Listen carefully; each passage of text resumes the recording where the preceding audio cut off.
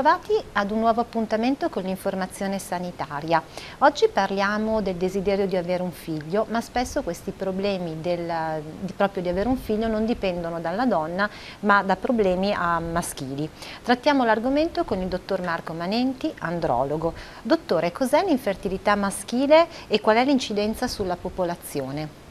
Buongiorno, l'infertilità maschile o comunque infertilità di coppia perché comunque stiamo sempre parlando di un uomo e una donna che cercano figli e eh, la definizione è la ricerca infruttuosa di prole entro un anno di rapporti liberi non necessariamente mirati nei giorni fertili. Quindi dopo un anno di rapporti liberi senza concepimento si parla di infertilità. La causa maschile di infertilità praticamente è presente una componente maschile nel 40% delle coppie desiderose di prole, il 40% eh, ha una causa espressamente e unicamente femminile e invece nell'altro 20%, quindi per arrivare al 100% delle coppie, hanno una compartecipazione maschile e femminile al problema l'incidenza delle coppie che hanno problemi di infertilità nella popolazione eh, generale è, è, di circa il 20%. Ma c'è una differenza tra infertilità e sterilità? Sì, la differenza è sostanziale. L'infertilità è una ridotta capacità di concepimento, però con mantenute ancora possibilità di concepire sia spontaneamente che con tecniche di riproduzione assistita, mentre invece la sterilità un, si, il termine sterilità si utilizza solo in casi di impossibilità completa a concepire. Faccio l'esempio, donne che sono in menopausa o che si stanno avvicinando alla menopausa, donne che per vari motivi non hanno più l'utero o non hanno più le ovaie, entrambe le ovaie, uomini che sono azoospermici, cioè che non hanno spermatozoi nel liquido seminale. Ah, e questi uomini erano considerati sterili, adesso invece è ancora possibile provare a recuperare gli spermatozoi con interventi eh, chirurgici o con agoaspirazione testicolare, in alcuni casi riusciamo comunque a recuperare degli spermatozoi utili per tecniche di riproduzione assistita. Ma ci sono dei sintomi che ci fanno presagire un possibile infertilità? I sintomi sono più evidenti nelle donne. Nelle donne eh, in effetti molte donne hanno dei problemi di ciclo mestruale, alcune addirittura hanno un'assenza completa di ciclo che si chiama amenorrea. Questa assenza può eh, essere la causa di problemi importanti di ovulazione, quindi la donna è consapevole di avere questi problemi, altre donne hanno dei cicli molto brevi, altre molto lunghi, anche questi due sono problemi correlati alla fertilità, altre donne possono avere dei problemi di dolori mestruali molto forti oppure dolori intensi durante il rapporto che sono spie di processi infettivi o di aderenze che possono creare dei problemi di sterilità tubarica. Nell'uomo i sintomi devo dire che sono abbastanza più sfumati, spesso l'uomo si presenta alla visita andrologica senza mai aver avuto nessun problema e la sorpresa avviene poi durante la visita. Più che dei sintomi ci sono dei segni che in teoria l'uomo avrebbe potuto cogliere, per esempio un ridotto volume testicolare. Spesso e volentieri però queste persone, nonostante facciano parte di coppie di lunga data, non hanno mai notato né il marito né la moglie la presenza di questo importante segno che è questo ridotto volume testicolare. Quindi le cause che determinano l'infertilità maschile quali sono? Allora, le cause maschili sono innanzitutto questo ridotto volume testicolare o ipogonadismo, vuol dire una riduzione proprio volumetrica, di solito su base genetica o costituzionale, la seconda causa molto frequente è il varicocele, cioè una dilatazione venosa delle vene testicolari, soprattutto a sinistra, poi eventualmente approfondirò questo argomento, è, che però è molto frequente nel paziente infertile. Terzo problema importante, le infezioni delle vie genito-urinarie e le ostruzioni. Ci sono delle patologie ostruttive sia infettive ma anche genetiche, che comunque determinano dei grossi problemi di fertilità. Quindi nel caso di una coppia quali sono gli esami che devono essere effettuati per poter accertare un'infertilità?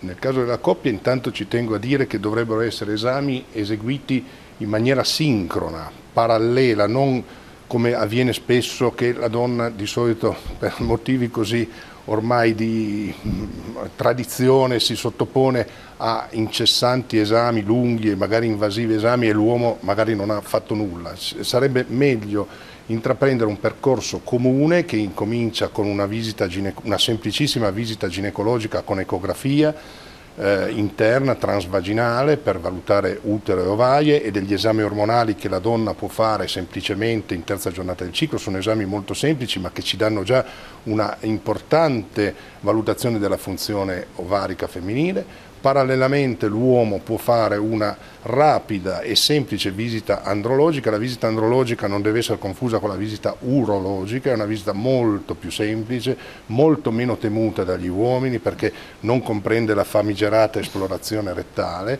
è una visita che viene effettuata con il paziente in piedi perché così è più facile per l'andrologo che sta seduto davanti al paziente eh, riuscire a evidenziare il volume, la consistenza dei testicoli, poi ovviamente questa visita che è piuttosto veloce può evidenziare anche la presenza del varicocele e accompagnata da una rapidissima e semplice ecografia e poi deve essere seguita dall'esame fondamentale per la diagnostica della fertilità maschile che è l'esame del liquido seminale. È un esame semplice, importantissimo, che deve essere ovviamente eseguito rispettando dei rigorosi criteri di raccolta e deve essere soprattutto letto in centri specializzati da operatori esperti.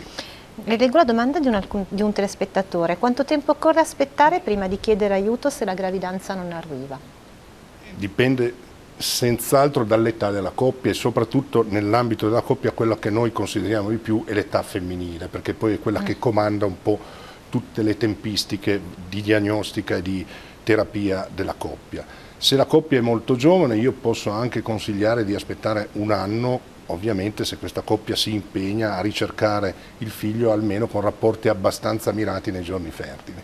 In caso di coppie eh, più avanti negli anni, e più avanti io intendo una donna già che sia sui 35, 36, 37 anni, eh, non aspetterei un anno a fare i primi semplici accertamenti, soprattutto se già ci sono dei sintomi che fanno pensare dei problemi. Ho capito.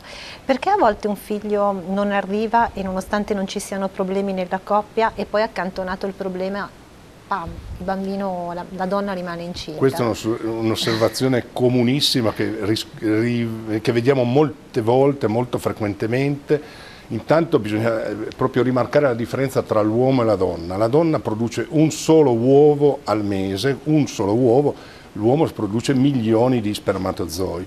Una donna è di solito storicamente più ansiosa per il problema dell'infertilità, diventa molto triste, molto angosciata, spesso piange quando eh, arrivano le mestruazioni, arriva in uno stato proprio di frustrazione, di angoscia e di eh, negatività totale. Eh, e a quel punto, anche se magari non esistono chiari problemi di infertilità, eh, questa donna eh, praticamente vive uno stato di insoddisfazione che la porta anche all'infertilità. Quando o si iscrive a programmi di riproduzione assistita o ancora peggio, eh, avvia le pratiche di adozione o ritira addirittura il bambino adottato, molto frequentemente la donna riesce a concepire perché l'ipofisi che è il ponte di comando endocrinologico che abbiamo nel centro del cervello che comanda la funzione della qualità dell'ovulazione è sottoposta a tutta una serie di stimoli stressogeni cerebrali che determinano quindi nella donna troppo ansiosa una, una stimolazione non corretta eh, dell'ipofisi e poi dell'ovaio successivamente e quindi una qualità dell'ovulazione sicuramente non buona e quindi un'infertilità. Quanto spontaneamente gli uomini si rivolgono a un andrologo? Spontaneamente molto poco.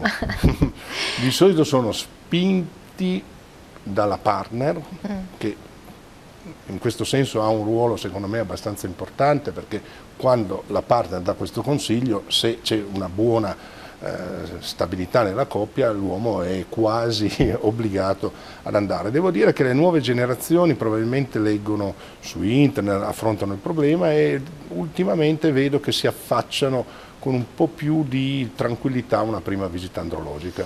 Adesso una curiosità, un tempo esisteva il servizio di leva che sottoponeva ovviamente gli uomini a, a una visita Il servizio di leva oggi non è più obbligatorio e quindi questo non avviene. Spesso forse nel servizio di leva venivano riscontrati i, prob i problemi legati all'aspetto all maschile. Quindi mh, oggi, tolto il servizio di leva, quanto mh, prevenzione si può fare? Eh, ha detto bene, non esiste più questo servizio obbligatorio con visita comunque non effettuata da medici specialisti in andrologia, ma che permetteva proprio di screenare, di fare un primo screening. Eh, sarebbe invece importantissimo e fondamentale proprio alla fine della pubertà, cioè intorno ai 16, 17, 18 anni, eseguire una prima visita andrologica perché è proprio alla fine di questo eh, periodo della vita che si possono già evidenziare delle patologie molto insidiose perché sono asintomatiche, quindi non danno alcun disturbo, come per esempio il varicocele, che se corrette in tempo possono risolvere il problema della fertilità, oppure patologie asintomatiche che però vanno a documento della salute del paziente, come il tumore del testicolo, che ha una picco di incidenza proprio tra i 12 e i 25 anni, ma si evidenziano solo nella loro gravità quando si è già andati troppo avanti, oppure anche patologie che possono influire sulla felicità della vita sessuale successiva, sono mm, ragazzi che magari non hanno eh, un, un, buon rapporto con la pelle del, del, glande, del prepuzio, non lo scoprono, hanno paura di scoprirlo, hanno la pelle che stringe, non sanno a chi rivolgersi, hanno paura di rivolgersi al medico di famiglia, eh, temono un, che il problema sia irrisolvibile, che sia grave, in realtà certe volte una semplice visita risolverebbe questo tipo La di problema. La ringrazio dottore per queste utili informazioni, quindi speriamo che i nostri telespettatori, soprattutto il pubblico maschile, abbia ascoltato con attenzione e superi ogni forma di ritrosia e si rivolga e faccia una visita dall'andrologo. Ringrazio i nostri telespettatori per averci seguito e li invito alla prossima puntata della trasmissione in salute. Grazie e arrivederci.